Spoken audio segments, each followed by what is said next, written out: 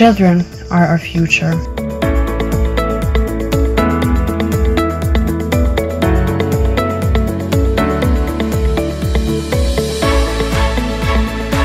The choice for them is ours.